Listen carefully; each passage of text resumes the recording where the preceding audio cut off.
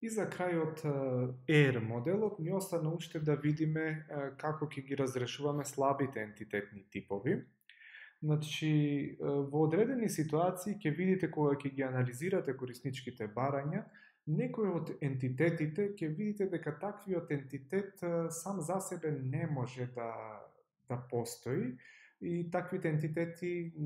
многу тешко ќе ќе биде да идентификувате клучен атрибут за за тој за тој ентитетен тип.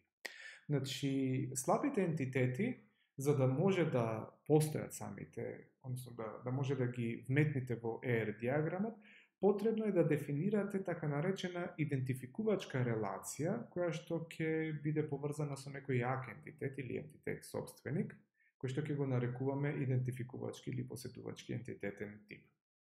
Значи, во ваквите ситуации слабите ентитети ќе се идентификуваат преку комбинацијата на делумниот клуч кој што може да го идентификуваме во рамките на слабиот ентитетски тип и е, некој посебен ентитет со кој што ќе биде поврзан преку е, идентификувачката релација е, во самата во самиот во самиот ER диаграм. Значи слабите ентитети најчесто ќе ги цртаме со двојни правоаголници и екзистенцијалната зависност ќе биде е,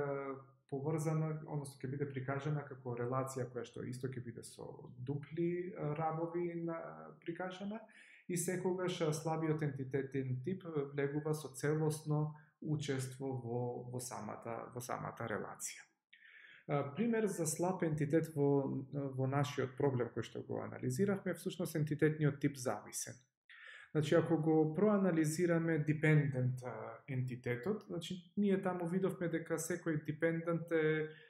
опишан со помош на име, датум на раѓање, пол и така натаму и имавме еден атрибут кој што всушност се однесуваше на а, информација за вработениот и која е релацијата во која што влегува тој а, ентитет со, со самиот вработен. Сега, ако земиме дека издржуваното лице е слаб ентитетен тип, гледате тука со двојни линии е прикажено, значи вработениот е јак ентитетен тип со кој што мора да биде поврзан со така наречена идентификувачка релација. Значи во нашава ситуација издржуваните лица не можат да постојат како информации доколку не бидат поврзани со помош на оваа релација со помош со со информациите за вработениот. Значи секој од вработениот има повеќе издржувани лица, при што секој издржувано лице се идентификува, односно припаѓа на само еден еден вработен. Ако сега во dependent ги видиме кои се а, можните клучеви, всушност името може да биде а, парцијален клуч во dependent. Зошто? Затоа што а, нормално е секој од вработените ако има повеќе издржувани лица, значи тоа најчесто се неговите деца, не би си ги крстил децата со исто име, така да сега а, името на издржуваното лице ќе биде а, парцијален клуч, а додека а, информацијата за вработениот кој што од кој што произлегува тој а,